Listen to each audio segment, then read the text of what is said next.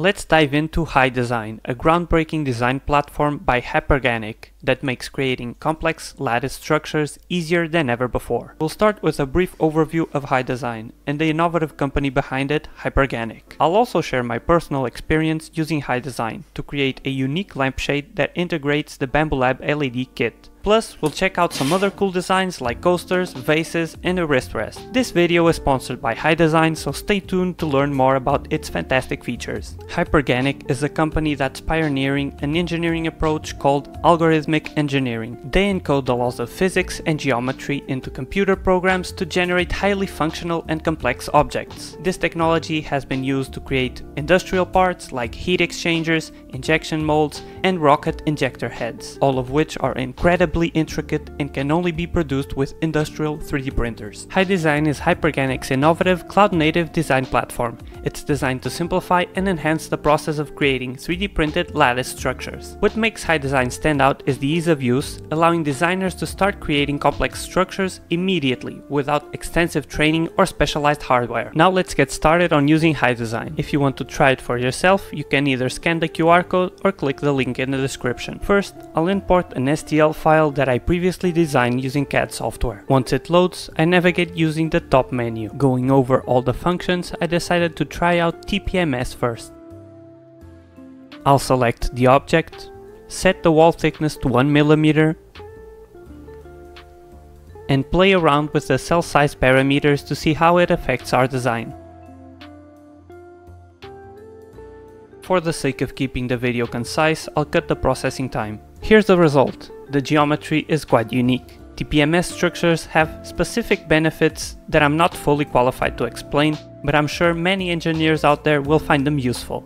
For this particular test, I'm just focusing on appearance. I think the holes are too small for a lampshade design, and I want them to be a little bigger so more light shines through.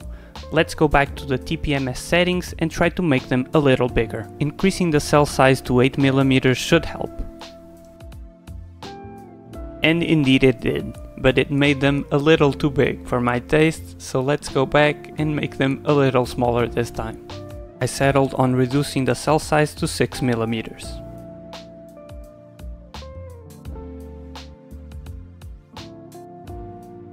I'm happy with this result, but with so many options, I'm gonna try a few more setting changes. On the right side of the screen we can see the objects and modifiers, going over to it and double clicking custom pattern I can go over to the settings and change the coordinate system from Cartesian to cylindrical. Quite a striking result but not quite what I had in mind.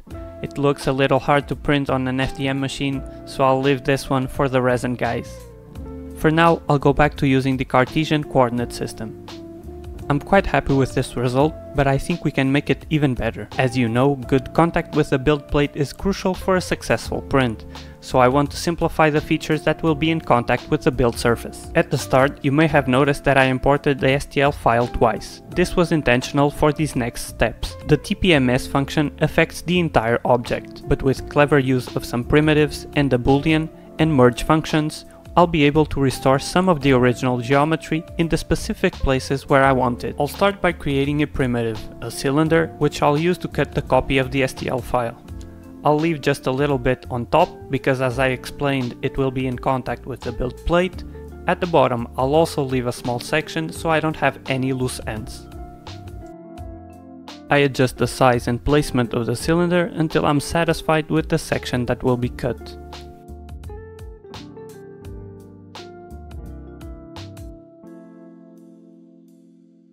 Once the cylinder is sized and placed, I use the boolean function. I select the STL copy as the main object, the cylinder as the secondary object, and set the boolean operation to difference.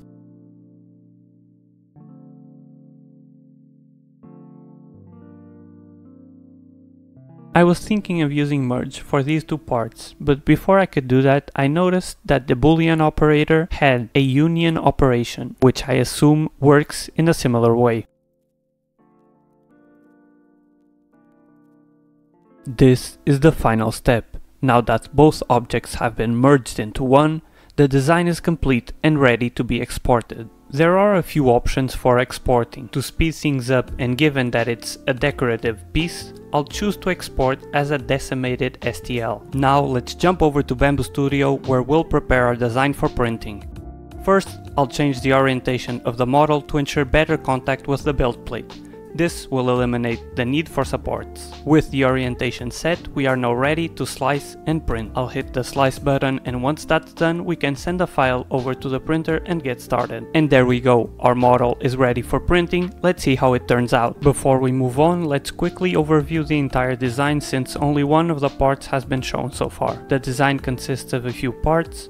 First, we have two parts with a twist lock design that make up the base where the Bambu Lab LED kit will fit.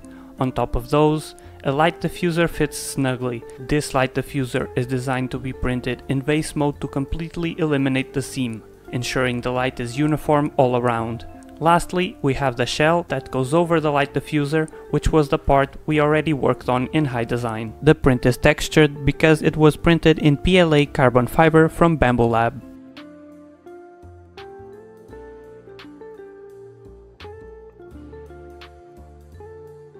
Here's the light diffuser printed in vase mode with a 0.6mm wall thickness. Lastly, here's a quick time lapse of the star of the show.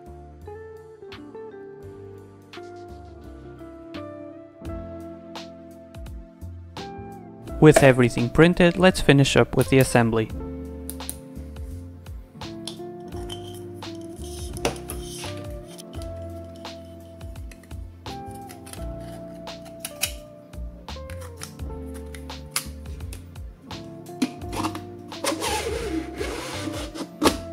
Here's the final result with the light off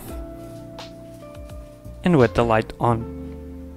As you can see, the intricate lattice structure of the shell creates a stunning visual effect. The TPMS pattern not only looks amazing but also allows light to diffuse beautifully through the openings. This unique design was made possible thanks to HyDesign's powerful tools, which let you create complex geometries with ease.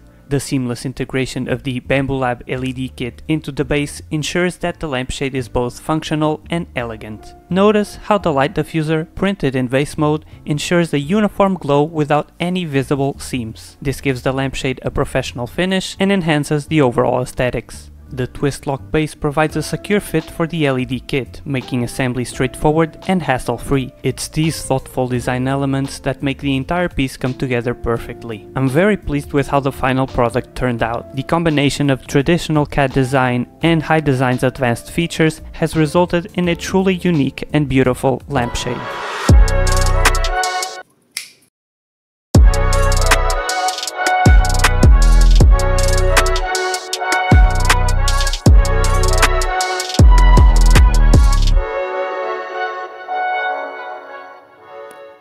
HyDesign isn't just for lampshades, you can create a wide range of objects. Check out these coasters and wrist rests, both made with HyDesign.